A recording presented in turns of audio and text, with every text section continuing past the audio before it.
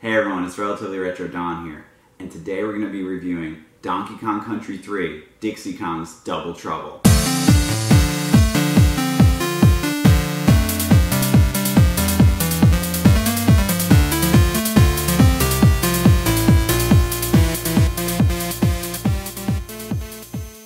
Donkey Kong Country 3, also known as Dixie Kong's Double Trouble, is just one of those games that I normally hate talking about these days.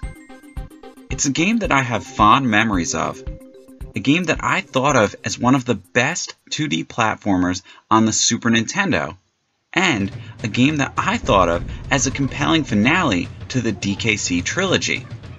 This was also before I knew just how vicious and inappropriately enthusiastic some gamers can be about their own opinions. Nowadays, when someone brings up Donkey Kong Country 3, I just politely nod until I know that I'm in a safe place where I can actually voice my opinion of this Donkey Kong entry without being attacked. I love when I finally engage in a positive discussion about DKC 3 because honestly, I love this game. Let's get it out there right away. Yes, Donkey Kong himself is sitting out of his own game for the second time in a row. Diddy Kong is also benched for this title as well. Sure, they play an integral part of the story of the game, but they are barely present and they're not playable. And that's one of the biggest letdowns of this game. If you can get over this aspect though, you'll find one of the most impressive platformers in the Super Nintendo library. Also, have no doubts going into this review that I still firmly believe that Donkey Kong Country 2 is the best game in the series. However, unlike some gamers, I'm still going to give this game a fair shot and a fair review. So, as I alluded to a moment ago, Donkey and Diddy are captured from the onset of this game and need to be rescued from K. Rool. I know, I know. Kong's getting captured by K. Rool sounds a bit too familiar, right? Well, they did change K. Rool from a captain to a baron in this game, but yes, basically Rare dished out a very unoriginal plot for this entry in the series. However, if this is something that irks you at this point, then honestly, the DKC games are probably not for you. These exceptional 2D platformers have never focused much on story, but rather they rely heavily on the responsive controls, above average graphics, unforgettable music, and remarkable platforming as a means to maintain the ever wavering interest of gamers.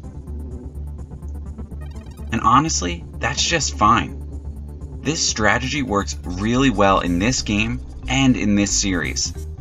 However, what Rare didn't expect this time around, and honestly, what I didn't expect either, was that many gamers were not pleased with the idea of scrapping Diddy and Donkey as playable characters.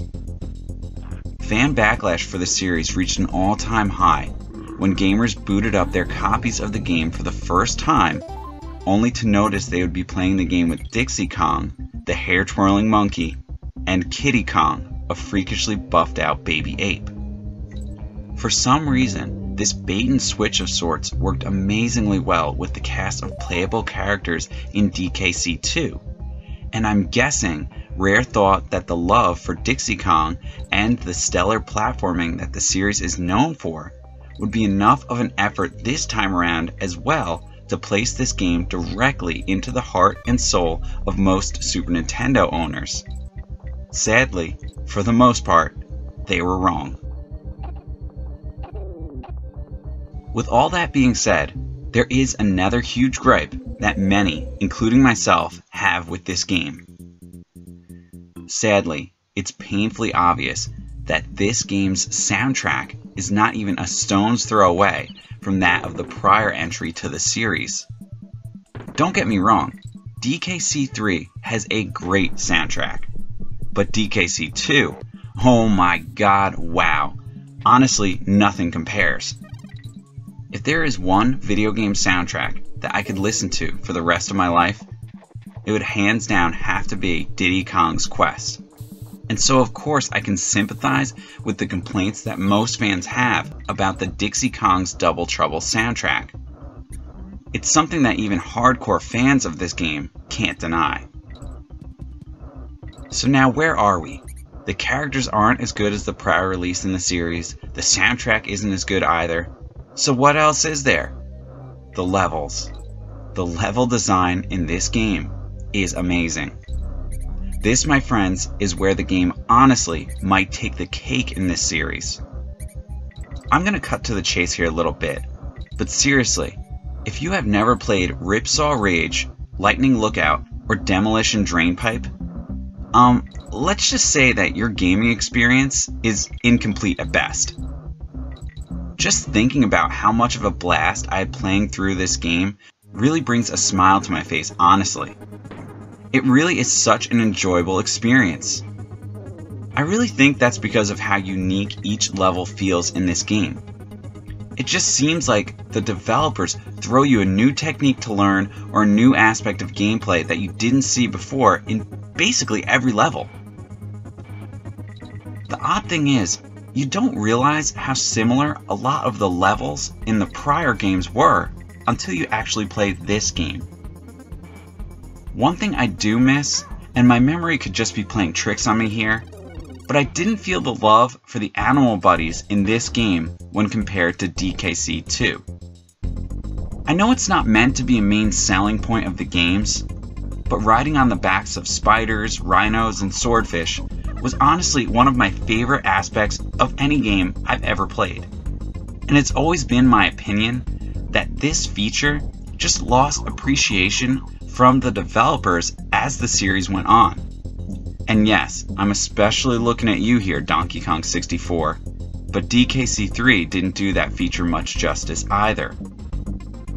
Again, I'm not saying that these sequences aren't present in the game, but I just felt that your animal buddies are much harder to find in this game. They show up much less frequently in general, and when you finally get them, they disappear all too quickly, in my opinion. When it comes to a game like Dixie Kong's Double Trouble, it's hard to not talk about all the controversy and issues fans have with this game. Feel like Nintendo and Rare misstepped a little bit with this entry.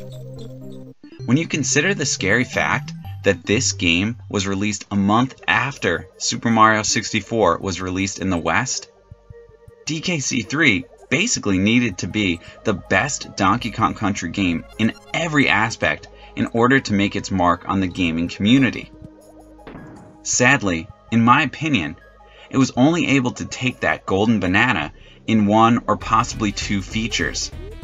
And unfortunately, that just isn't enough to make it the best game overall in the series. People, gamers, fans, viewers, just trust me on this one though if you have never played this game yet at this point, and you have let the complainers and whiners dissuade you from even trying this game, stop selling yourself short and give this entry a go. I may be in the minority here, but I actually feel like the game plays out a lot like the original Donkey Kong Country. You have Kiddy representing Donkey Kong as he does the majority of the heavy lifting in this entry, and Dixie representing Diddy as the nimble yet fragile partner in crime of this duo. If that idea intrigues you, or if the gameplay in this video caught your attention, be sure to check out this fantastic 2D platformer. Just bear in mind, this is one last warning about this title. Yes, it does look visually stunning. One of the best graphical presentations on the Super Nintendo, hands down. But it is tough when compared to other games in the series. As with most of these comments about this game, it is a real matter of opinion, but I most definitely had a much more difficult time beating this game than I did with other games in the series. However, I loved that feature of this game, but that spike in difficulty might not be for everyone. I just want to say that I love the support you all have given me on this channel. Thank you so much for watching, subscribing, and thanks for just being a part of the gaming community. This is Relatively Retro Don, and I will see you all in my next review.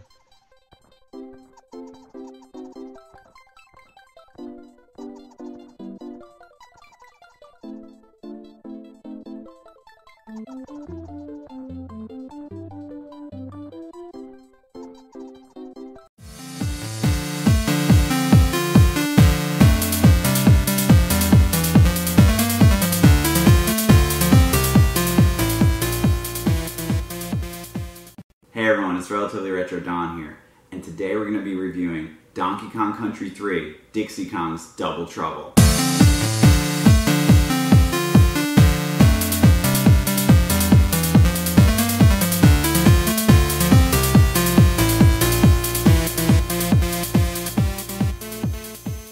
Donkey Kong Country 3, also known as Dixie Kong's Double Trouble, is just one of those games that I normally hate talking about these days. It's a game that I have fond memories of, a game that I thought of as one of the best 2D platformers on the Super Nintendo, and a game that I thought of as a compelling finale to the DKC trilogy. This was also before I knew just how vicious and effect either was that many gamers were not pleased with the idea of scrapping Diddy and Donkey as playable characters.